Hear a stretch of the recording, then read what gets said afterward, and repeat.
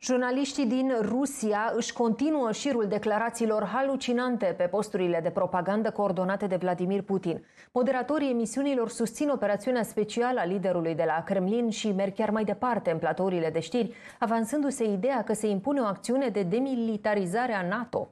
Dacă unii cred că Rusia va salva lumea, alții sunt convinși că războiul se va sfârși cu un atac nuclear.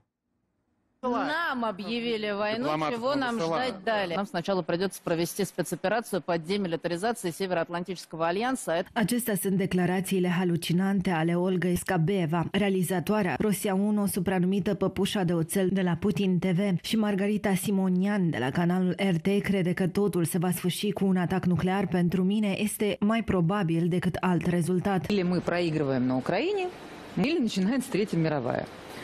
Лично я считаю наиболее более реалистичным путь Третьей мировой.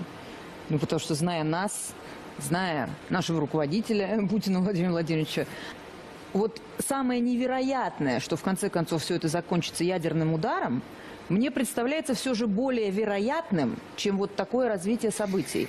Vladimir Soloviov este convins că rușii vor salva lumea în vreme ce politologul Mihail Markelov este de părere că reprezentanții acestor 40 de țări diferite sunt Hitlerul colectiv de astăzi. Россия принципиальным образом несет три вещи мировому порядку. Первое – это справедливость.